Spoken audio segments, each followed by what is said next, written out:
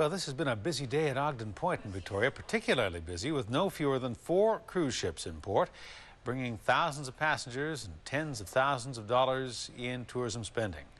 But people in James Bay say these vessels are bringing something else, something unwanted, emissions that are polluting the air and making people in the neighborhood sick. And there's a recent air quality study that backs up their claims. The findings are being looked at right now, but the Neighborhood Association says it wants officials to clear the air immediately.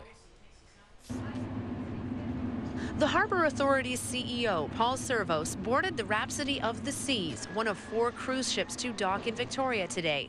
He went on an environmental tour to see for himself the kinds of Earth-friendly initiatives on board the vessel. But for the people in James Bay, the most pressing environmental issue is not on the ship, it's in the air. We're feeling that this industry has grown and grown and grown. Uh, we're seeing that it could be having an impact on our health. The recent James Bay air quality study shows that at the height of the cruise ship season, sulfur dioxide levels are dangerously high, three times the level accepted by the World Health Organization. It's a level that can exacerbate existing respiratory problems. Cruise ships may be the biggest polluters, but people in James Bay also worry about the emissions from buses. But when you're talking about that many buses consecutively, um, it's quite unpleasant. So just how polluted polluted is the air down here at Ogden Point when all the cruise ships are in?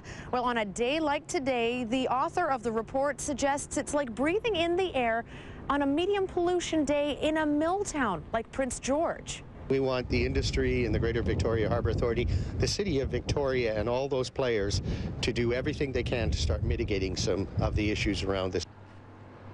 The Vancouver Island Health Authority won't comment until the BC Centre for Disease Control makes its recommendations. What about the Harbour Authority? We stood within meters of Paul Servos today. We were told he couldn't comment on camera. Instead, we were offered this written statement.